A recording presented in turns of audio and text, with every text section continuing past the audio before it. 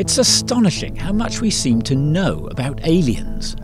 They build technology driven civilizations and pilot spaceships across the galaxy. They beam interstellar greetings to us. They create energy harvesting structures around their stars. How do we know all of this? Because it's what we would do. Which is to say, when we start speculating about what advanced extraterrestrials are like, we're really just talking about ourselves. The impulse to cast alien life in our own image goes back to the proto science fiction of the 17th century.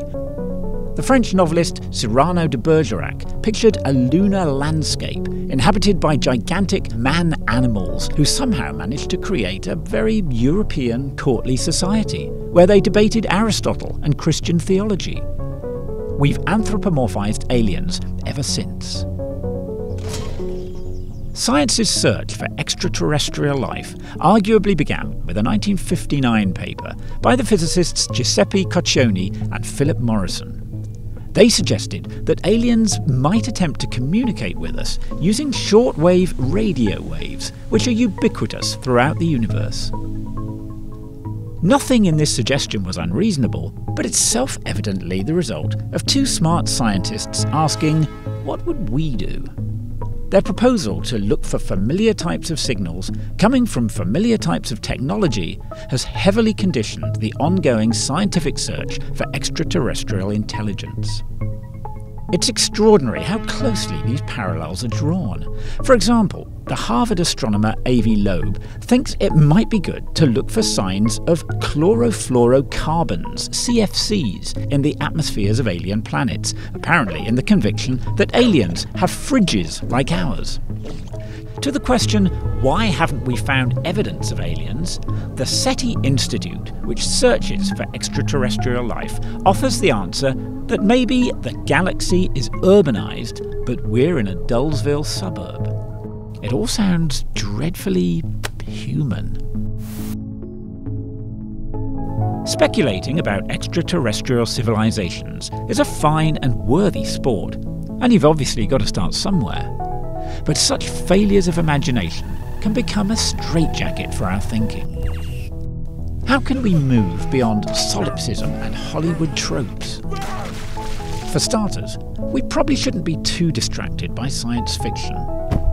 Some of it is fabulously inventive, but let's not forget that it's storytelling, which means that even the classics have overlords and dictators, heroes and heroines, spaceship fleets and empires.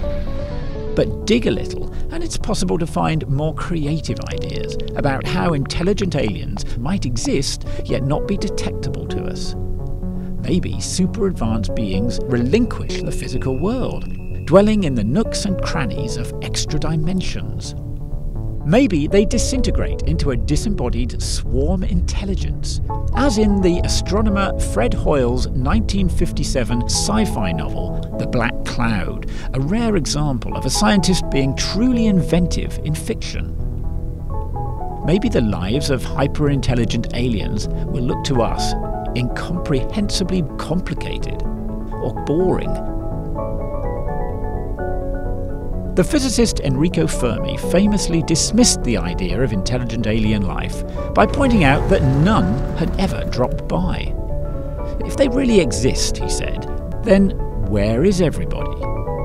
But the moment we start to imagine their motives, technologies, and physical makeup as projections of our own, we need to remind ourselves that we're merely looking for our reflection in a distorted mirror. The range of possibilities for alien life is extraordinary. So why not allow ourselves to be daring?